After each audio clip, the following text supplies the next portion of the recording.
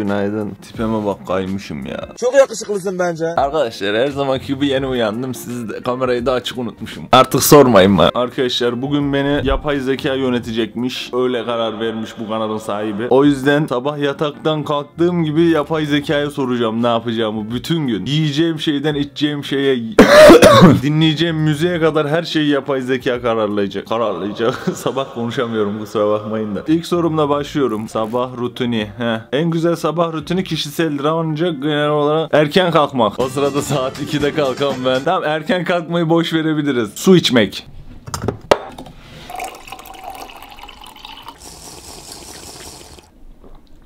Meditasyon ve yoga. Yoga. Zihninizi sakinleştirmek ve stresi azaltmak için meditasyon veya yoga yapabilirsiniz. Sakinleş ve dinginleş.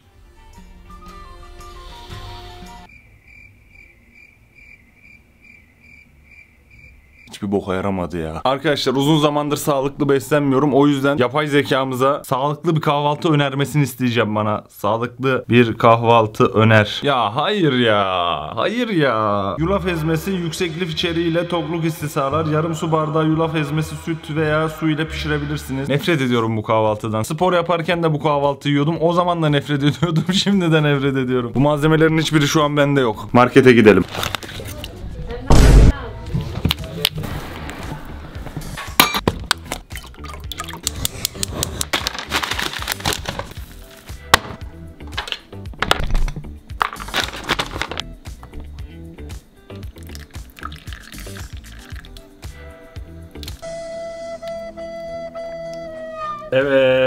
Geldik arkadaşlar. Bowl'umuzu yaptık.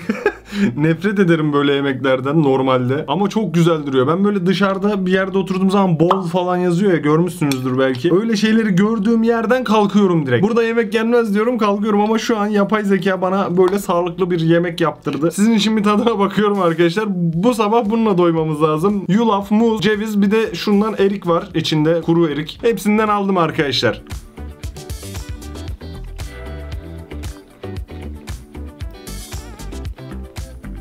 Spor yaptığım dönemde böyle şeylerden çok yemiştim arkadaşlar. O yüzden tadı böyle aman aman iğrenç gelmiyor. Hatta yenmeyecek bir şey değil yani. Doyururum. Ben bu sabah bununla karnımı doyururum. Ne yani bir, bir tane kızartılmış yumurta tadını vermiyor yani anladın mı? Neyse bugün sağlıklı olacağız ya.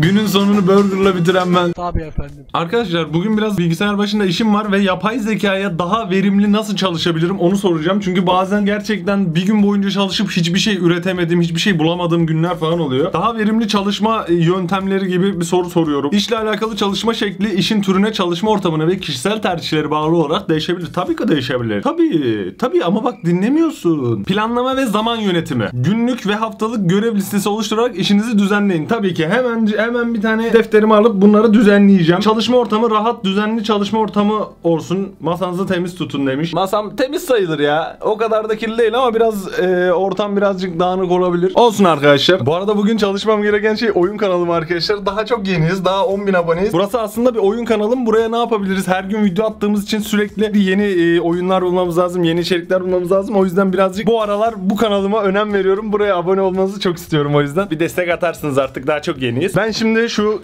güzel defterimi bir açayım. içerik defterimi. Burada buraya hepsini yazıyorum. Hem şu an izlediğiniz Zidal Gali kanalı hem de Gali kanalı için. Başka ne demiş? Odaklanma ve konsantrasyon. Okuyamadım dur be.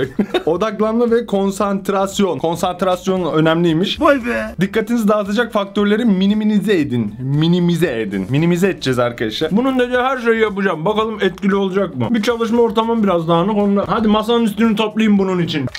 Topladım. Arkadaşlar sessiz oluyorsunuz. Ben yemeğimi yiyerek çalışmaya başlıyorum.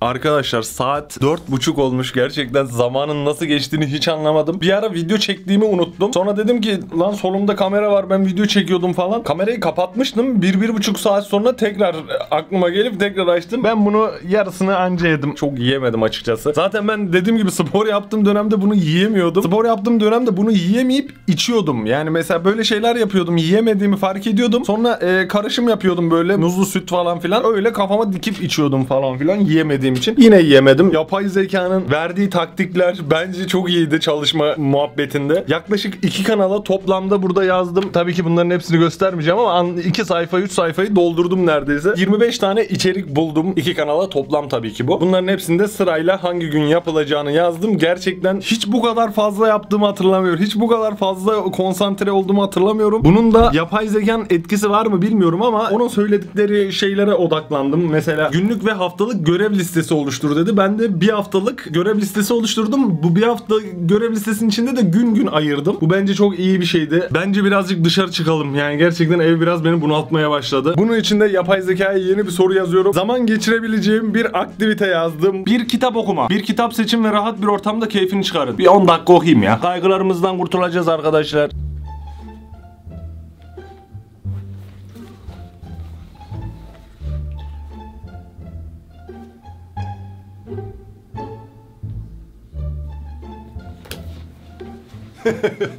Okuyorum sandınız değil mi? Vallahi bir sayfa okudum arkadaşlar. Müzik dinleme, sevdiğiniz müziği dinleyerek dinlenin veya müzik türlerini keşfedin. Bu beni dışarı çıkartmayacak anlaşılan. Evde aktivite öneriyor bu bana. Gidelim arabada müzik dinleyelim. Arkadaşlar ben kahve içmek istiyorum. Ben kahve içmeye gidiyorum. Kahve içmeye gidiyorum arkadaşlar. Ee, kahve kahveyi ne içeceğimi soracağım ama gidince soracağım. Şimdi kahve gitmeye giderken Açacağım, müziği soracağım. Arabada dinlenecek bir müzik. Tabii ki arabada dinlemek için farklı türde müzikler öneririm. Ne tür bir müzik dinlemeyi tercih edersin diyor. Pop dinleyelim. Pop söylesin.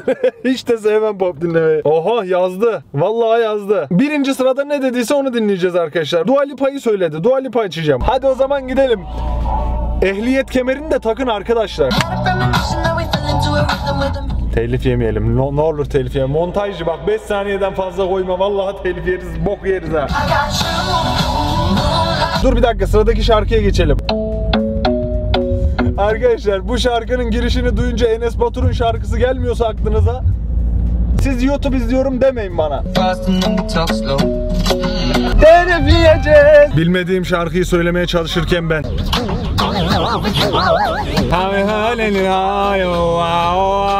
Bunlar şarkı mı? Gerçek adam bunu dinler. Zanneler dağlar Lafımı olur Arkadaşlar yapay zeka istikleme seviyem. bir daha da tövbe aramam. Arabamızda müziğimizi dinledik, her şeyimizi yaptık. Yapay zeka çok güzel yönetiyor günümü. Şimdi kahve içeceğiz. Starbucks'a geldim. Starbucks'tan içebileceğim bir kahve diye soruyorum. Neye göre yapmak isterseniz örneğin yoğun bir kahvemi sütlü, süt bazlı. Karamel macchiato önerdi. çok yaratıcı bir kahve gerçekten sağ ol yapay zeka. Ben burada tabii ki birinci önerdiğini içeceğim. Starbucks'ımıza girelim. Karamel macchiato'muzu içelim arkadaşlar.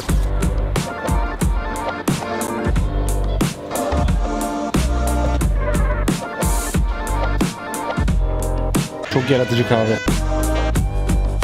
Sosyal anksiyetem azdı. Niyeyse sosyal anksiyetem geldi bir an. O kadar kalabalık.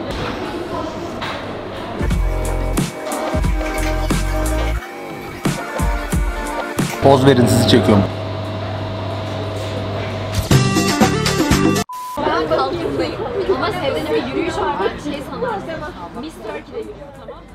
Arkadaşlar gerçekten içeride sosyal anksiyetem çok azdı.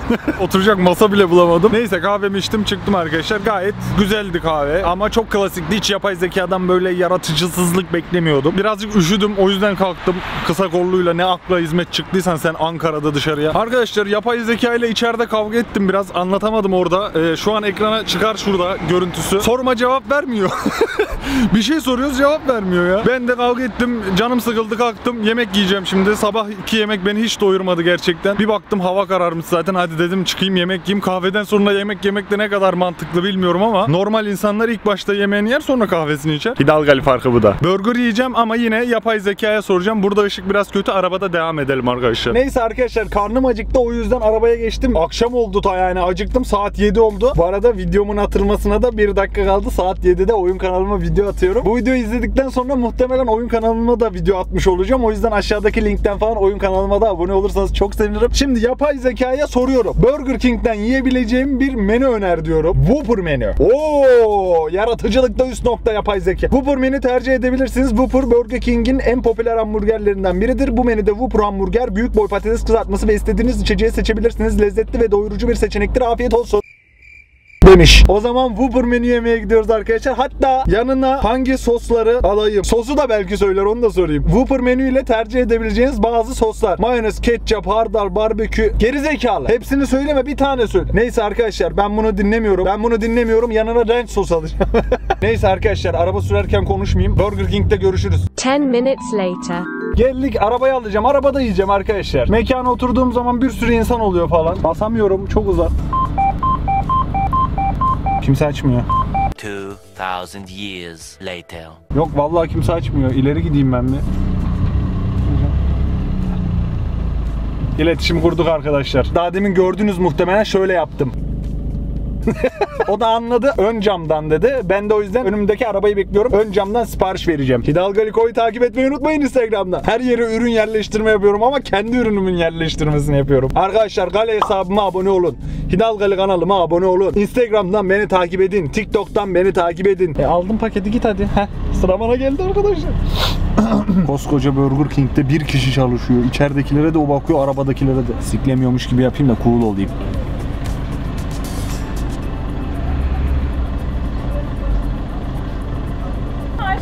Kolay gelsin. Whopper menü alacaktım bir tane. İçecek kola olacak. Renk sos alacağım. Yok teşekkür ederim. Arkadaşlar siparişi verdim.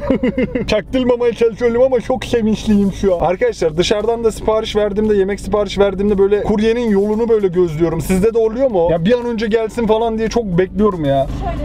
Teşekkürler sağ olun. Anam. Anam, aldım yemem. Oğlum yazık lan yemin ederim arkadaşlar bakın şu an 8-9 kişi arka arkaya sıra olmuş.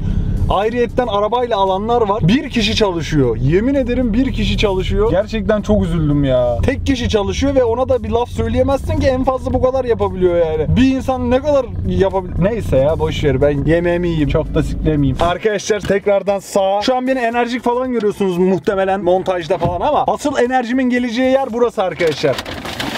Bir adet Coca-Cola, mayonez, ketçap, ranch sos. Ya bunların en sevmediğim kısmı arabadan koyacak yer bulamıyorum bunlara. Neyse. Hazine burada hazine. Bak bak bak bak bak. Geliyor mu sese? Geliyor mu sesim? Beni duyuyorsun değil mi? Arkadaşlar size bir de çok önemli bir bilgi vereceğim. Ben hayatımda hiç Whopper menü yemedim. İlgi alanlarım daha farklı. Big King olsun. Ondan sonra cima tavuk, ikili tavuk burger menü olsun en ucuzu. Benim ilgi alanlarım onlar hiç Whopper yemedim. Gerçekten bak. Ekmeğe falan da güzel bu Burger King'in. Bu menü nasıl 150 lira olur koyayım ya. Yine geldik ekonomiye. Yani Burger King ne kadar güzel olabiliyorsa o kadar yani. Tavuk daha iyi ya. Vallahi ben bunun etinden nefret ediyorum. Neyse arkadaşlar ben şimdi yemek yerken konuşamıyorum zaten. Ben bunları yiyeyim öyle geleyim. Zaten gece oldu uyuyacağım birazdan.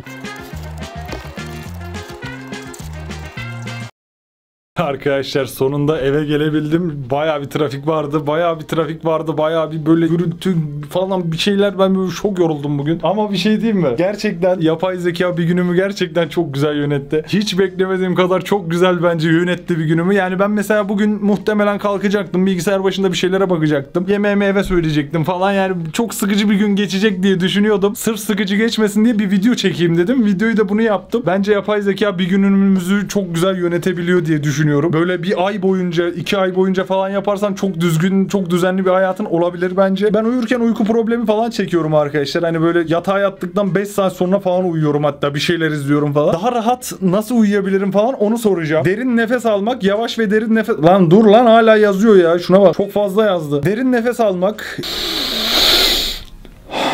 Yavaş al dedi geri zekalı. Şimdi tavsiyeleri sırayla uyguluyorum arkadaşlar. Derin derin nefes alacakmışız.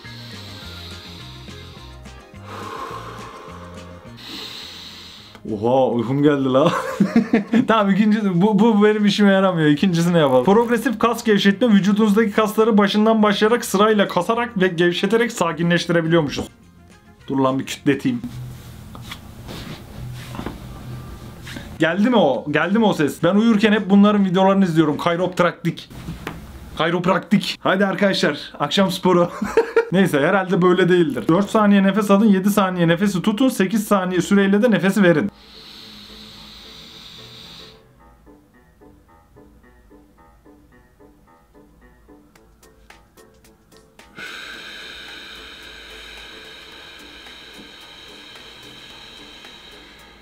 Başım döndü lan. Oğlum bu tabi uyutur lan bu. Şaka. Oğlum bu uyutur tabii lan başım döndü ama.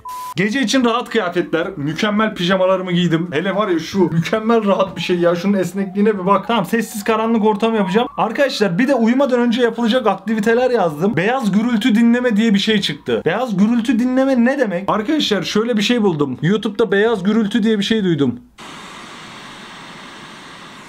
Bir dakika siz duymuyorsunuz belki şöyle yapayım. Oğlum ben bu sesle uyuyamam lan. Bütün taktikleri yaptık. Karanlık ve sessiz bir ortam diyor. Üstüne bir de bunu aç diyor. Hemen yapıyorum. Tamam mı? Hafiften aydınlatayım ben uyurken kapatırım. Şunu dinleyerek uyumaya çalışacağım.